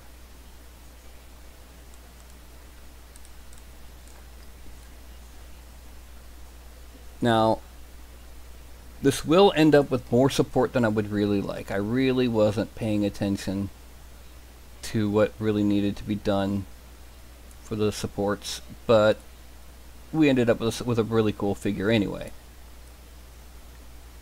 Now, because of a problem I had on a previous figure, I'm going to have to drag the chin out. I ended up with a figure that had a chin that, um, well, was not very happy. And I'm going to put that right there. Want support on the arms. We definitely want support on the arms. This is an elf. He's got weedy, skinny little arms. And let's go ahead and go back to the center. And let's give a couple more supports in the bottom of the cloak. Because that's going to be a heavy piece. In proportion. I mean, plastic's light.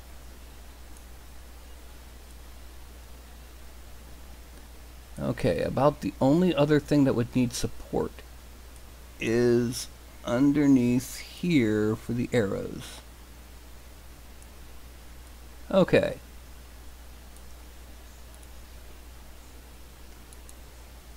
And yes, it is Brandon 40. The cooling tower is 6 millimeter by 6 millimeter by whatever height I need it.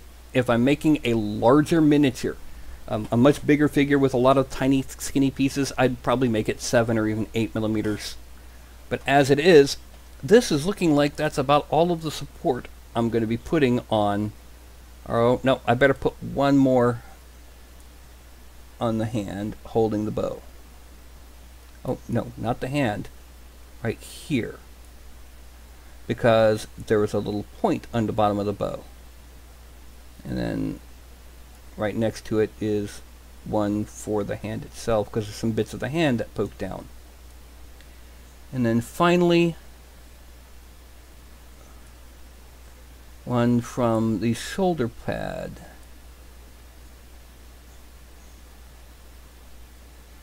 Going forward. No, wrong direction. One from the shoulder pad, the corner of the shoulder, going forward. Now you'll notice I've given a lot of slanted supports. The thing about those slanted supports is that I can't have them too angled. Otherwise, you know, if I put a support on the thumb out to here, well, for one, it doesn't like it. For another, it won't print. So we put the thumb out to here. It's still angled, but it's not too angled. And now the last thing left to do is slice it. Yes, slice it. So let's go ahead, once again, zoom out to extents and we hit this button. Now, this dialog box has all the different settings that we would need for printing the figure. I already have it set for what is probably the most common settings I use for printing miniatures. For one, I use 0.08 millimeter layer height. That means that the, the resolution for vertical. The resolution for horizontal is unfortunately set by the size of my nozzle, which is 0.4 millimeters, four tenths of a millimeter.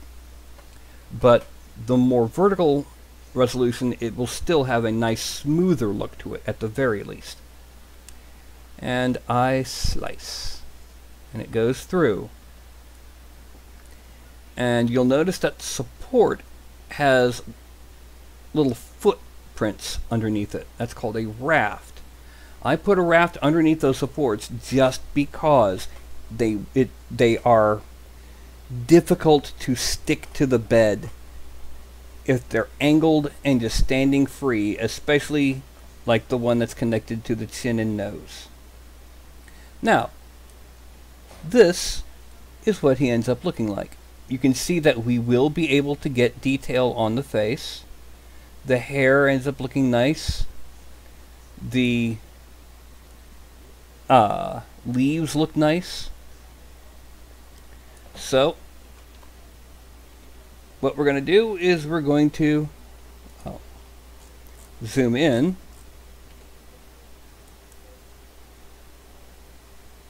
Oh, that's right, because, yeah.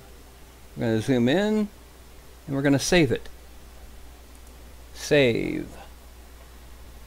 This is Broadcast Miniatures. That's High Elf Druid. Oops, Druid, not fin not Druist. Finished. And that's it. Now, right now, I cannot print it. But not for any really stupid reason. It's, it's because I normally print... Oh, real quick. Uh, if we look over here, you can't see it, but the estimated print time for this will be 3 hours and 36 minutes. It'll probably be closer to 5. Uh, it will use 2.7 meters of filament. Now, to give you an idea, this is the size of a filament spool. This is how big they are. Okay? Normally, it's filled to here. That is one kilometer. No, sorry, 330 meters. Three of these is a kilometer. One kilogram. 2.7 meters instead out of 330 I could print well over a hundred miniatures like that on one spool of film the filament it's not a spool of film this is not movies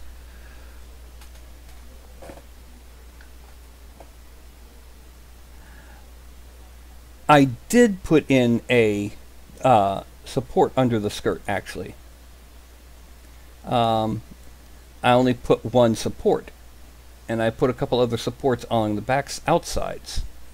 The support, the uh, skirt is solid. But anyway, let me go ahead and go back to primary camera. I'm actually kind of surprised that we didn't have any other furball visitors.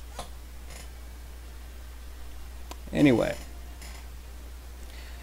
tonight I will be printing it. Um, I will also be putting the model up on Thingiverse so that, you know, if you are one of the people who are here because you're a 3D printer and not because you're, you know, a, a friend friend of mine, you'll be able to try and slice it and print it yourself. And since we got this, we can go ahead.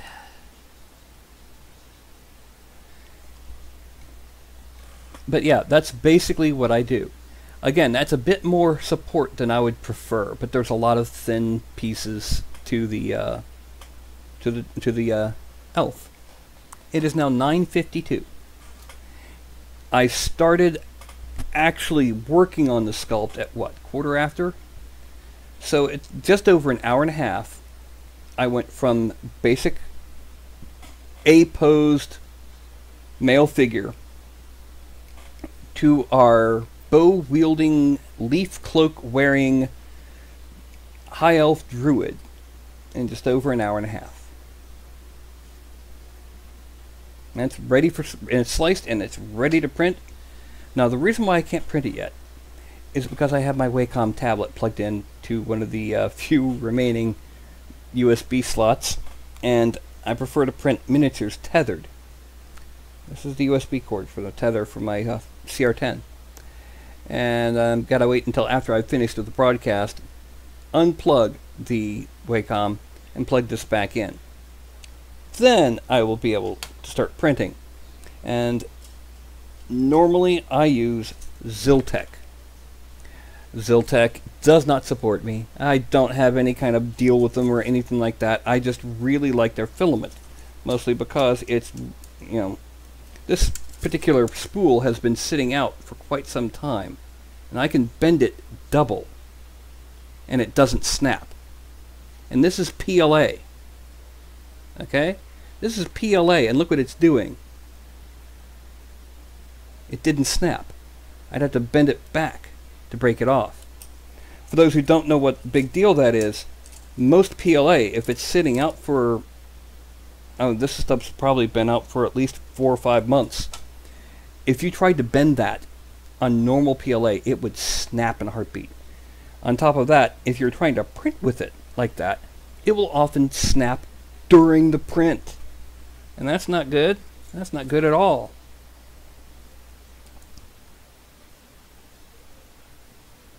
You spy a Benchy.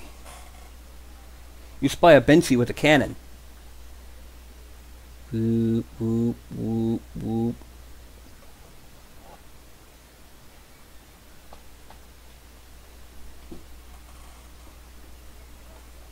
But yeah, I've got quite a few things that I've done. I've, I've worked up. You know, I got Dragon Dice Tower. Drop the dice in the mouth, and they come out from back here. That's what you do for the dice that don't behave. You know, and so on and so forth. I've done quite a few 3D models.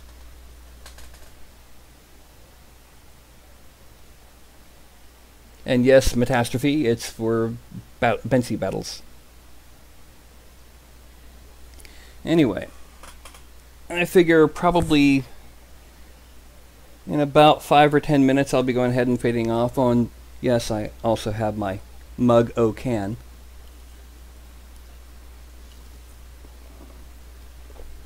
I printed out a little cap to put it on to keep bugs out of it. Anyway. That's absolutely no problem, uh, uh, Billy. Hold on a second. I seem to have even more lag than what Twitch normally has. So let me refresh the page. Yay.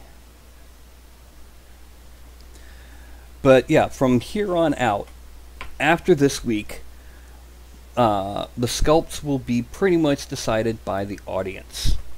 So, if you can just, you know, when, when I get here, I'm going to say, okay, what do we want to see today? We're going to start sculpting, you know, whatever it is that the audience decides on. And hopefully, you know, we'll get some interesting looking sculpts. So, no, no, uh, uh, characters, not things from beyond the stars. And you're welcome, Brandon. My computer specs are seven years old. Mm-hmm. My computer is seven years old. So, uh, yeah. I do professional 3D graphics work on a seven year old computer. Isn't that just grand? I was going to get a new one. Get this. It was one of those um, from. It was one of the game uh, towers from uh, Best Buy. I ordered it. It was going to be two weeks until it shipped to the store. The day it was supposed to be in the store, instead they got a message saying, "Oh yeah, that model we uh, we discontinued it the day before he ordered it, and there's none left. Sorry." And it was one where if you totaled up all of the individual pieces, it would cost more than all of them put together. So yeah. Hey, I'm still using Photoshop CS3. I'm using 3D Studio Max 2011. This one goes to 11. The only reason my ZBrush is up to date is because ZBrush's updates are all free. Yeah, yeah, that that sucks.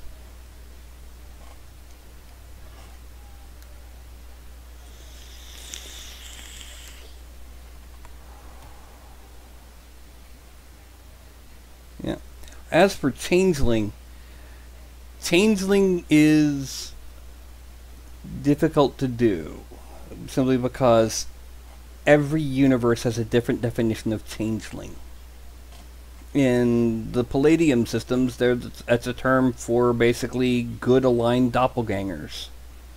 In D and D, a changeling is a not even a, really a thing, and in Myth, it's a kid who was originally born to humans, but the fairies kidnapped him and left an old man in his place. And in the game Changeling, there's all sorts of different. Oh, hello, Ralph. Oh, yes, hello. No, you can't have the microphone. Oof. This is Ralph. Yeah. Do you mind, Fuzzball?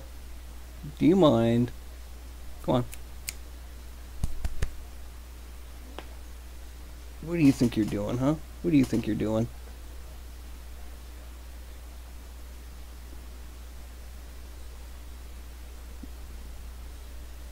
Yes, this is Ralph.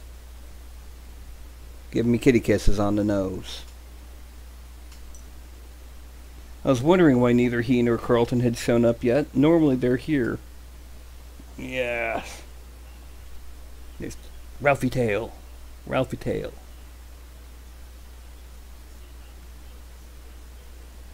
Yes. okay.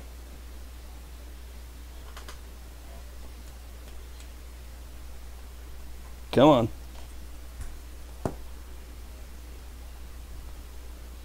You want to get down, don't you?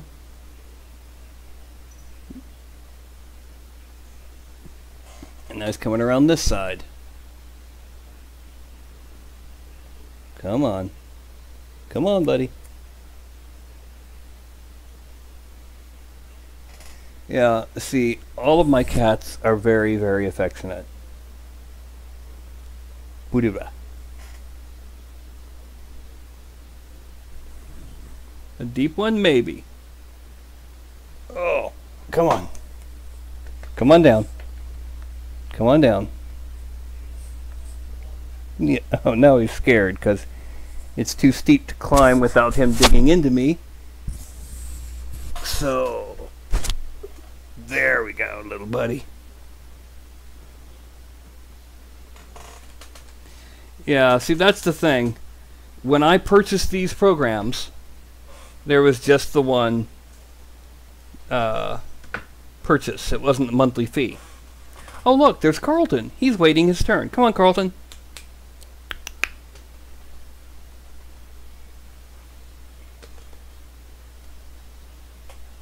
Come on, little buddy.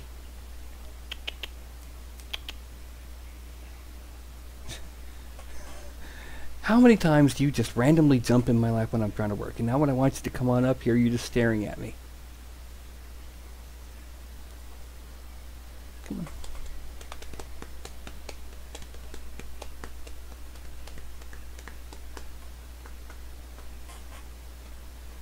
Here he comes. This is Carlton. Looks just like Ralph, except he doesn't have a doesn't have a uh, uh, collar.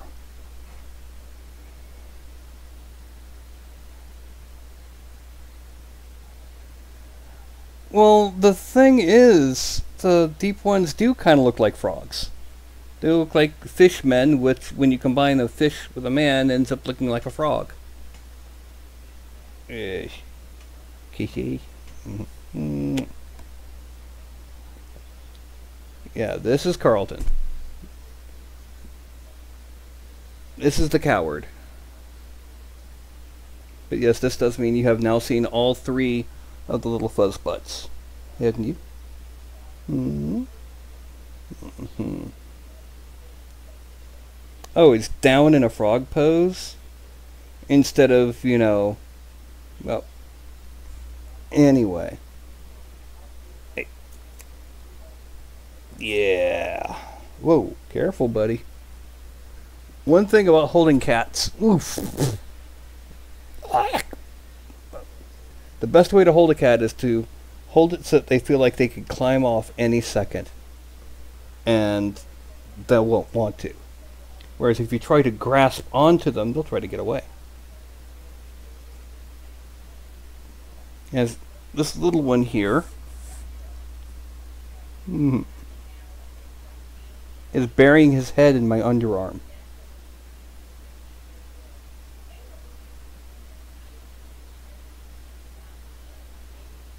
Anyway, let me try and put him down. Oh, the thing about a deep one sculpt is it would require a lot more sculpting because I'd have to completely reshape the head. And yes, as you can see, the cats frequently get up here.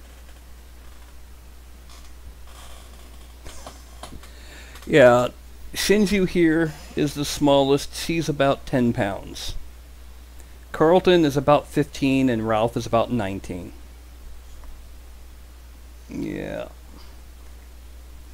She is 12 years old. Those two little black ones are 6.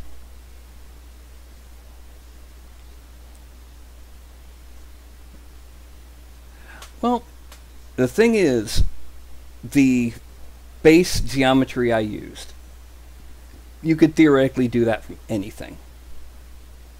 Any, excuse me, any base geometry.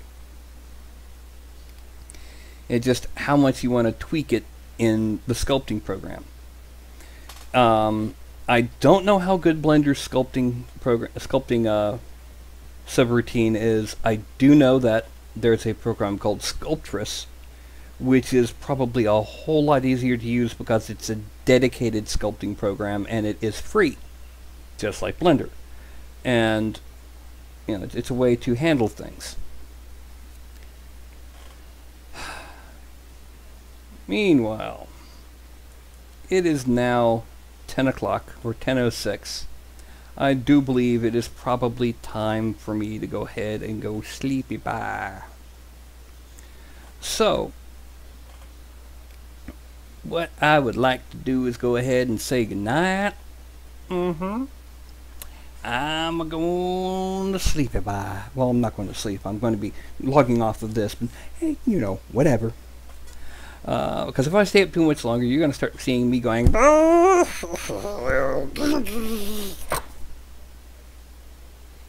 And if that happens, I won't be happy.